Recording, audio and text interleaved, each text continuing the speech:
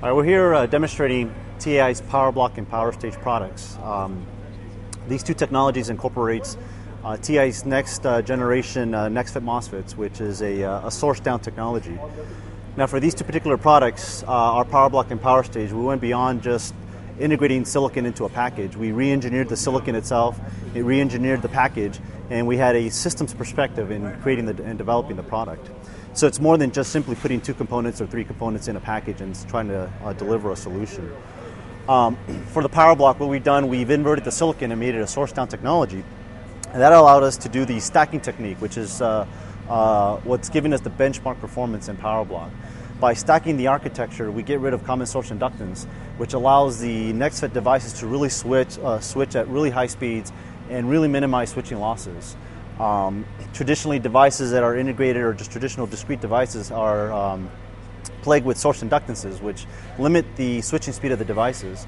This architecture allows for the uh, most efficient way of switching a power device in a hard switch application. As such, what it does, um, it takes this solution and creates a benchmark that goes beyond simply RDS on. Uh, what we have in this demo is uh, we're demonstrating or we're showing two efficiency curves of our power block and discrete devices that have similar RDS-ons, and yet because of the stacked die architecture, we have at least two points of performance improvement over a discrete architecture, uh, despite having the same RDS-on, which really highlights the fact that uh, switching losses have been greatly improved in this architecture. So when it comes to the power block technology, again, it's more than simply RDS-on. It's about what we've done, what we have done with the technology in terms of integration, in terms of packaging development, and in terms of silicon improvements. Uh, Beyond PowerBlock, we've taken that architecture, we've integrated into our power stage.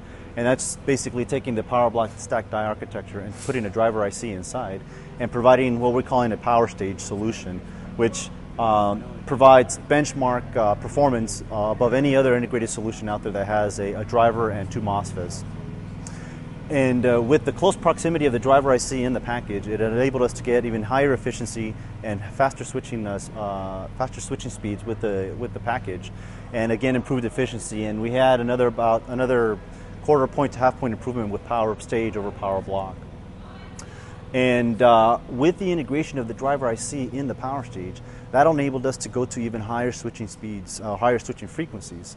Uh, with this power stage architecture or platform, we were able to, to demonstrate a two megahertz solution that's uh, you know in a less than one inch by one inch uh, um, area, and yet not compromise efficiency. As a matter of fact, our peak efficiencies are over 90%, and our full load efficiencies are uh, you know in the 89% for a 25 uh, a 20 a 25 amp a 25 amp converter running at two megahertz, 12 volts in and 1.8 volts out. So to achieve those level of free, uh, efficiencies at those frequencies shows that the integration of the, uh, of, the, of the silicon and the redesign of the silicon and the redesign of the package is reaping its benefit at the system level. Again, when we, when we design these products, we're thinking of the system in mind, the end system.